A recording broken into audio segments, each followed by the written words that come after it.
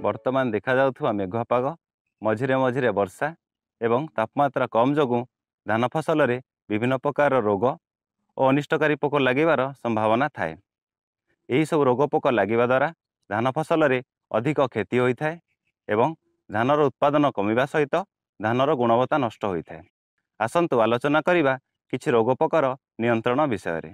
ମୁଁ ଅସିତ କୁମାର ପ୍ରଧାନ ଜାତୀୟ ଧାନ ଗବେଷଣା ଅନୁଷ୍ଠାନ କଟକର ଏନ୍ଆର୍ଆର୍ଆଇ ବାର୍ତ୍ତା କାର୍ଯ୍ୟକ୍ରମକୁ ଚାଷୀ ଭାଇ ଓ ଭଉଣୀମାନଙ୍କୁ ସ୍ୱାଗତ କରୁଛି। ମାଟିଆ ଗୁଣ୍ଡି ପୋକ ବା ଚକଡ଼ା ପୋକ ବୁଦା ପ୍ରତି ପାଞ୍ଚରୁ ଦଶଟି ଦେଖାଗଲେ କ୍ରମାଗତ ଭାବେ ଠିଆ ପାଣି ନ ରଖି ଜଳସେଚନ ବନ୍ଦ କରି ଜମିକୁ ଶୁଖାଇବା ଆବଶ୍ୟକ।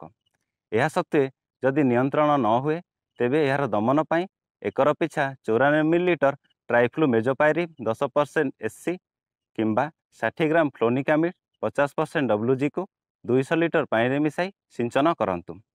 ଅଧିକ ପ୍ରାଦୁର୍ଭାବ ଦେଖାଗଲେ କୀଟନାଶକ ପ୍ରୟୋଗର ଦଶ ଦିନ ପରେ ଆଉ ଥରେ ପ୍ରୟୋଗ କରନ୍ତୁ।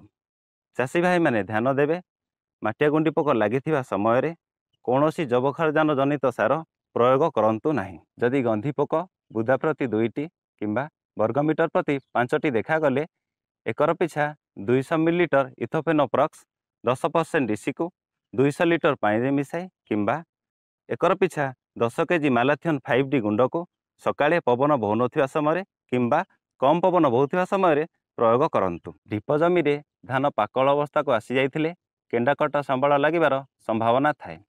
ଏହାର ଦମନ ପାଇଁ ଏକର ପିଛା ଚାରିଶହ ମିଲିଲିଟର କୁଇନାଲଫସ୍ ପଚିଶ ଇସି କିମ୍ବା ପାଞ୍ଚଶହ ମିଲିଲିଟର କ୍ଲୋରୋଫାଇରିଫସ୍ କୋଡ଼ିଏ ଇସି ଦୁଇଶହ ଲିଟର ପାଣିରେ ମିଶାଇ ସକାଳ ସମୟରେ ଧାନ ଫସଲ ମୂଳରେ ପ୍ରୟୋଗ କରନ୍ତୁ। ସାହାରା ରୋଗ ସାଧାରଣତଃ ଧାନ କେଣ୍ଡା ବାହାରିବା ଠାରୁ ଫୁଲ ଓଡ଼ିବା ସମୟରେ ଦେଖାଯାଏ।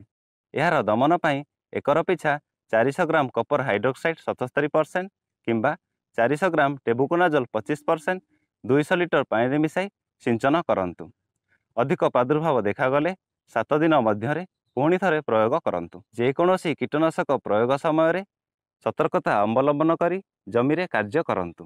କୀଟନାଶକକୁ ନାକ ଓ ଚର୍ମ ସମ୍ପର୍କରୁ ଦୂରେଇ ରଖନ୍ତୁ।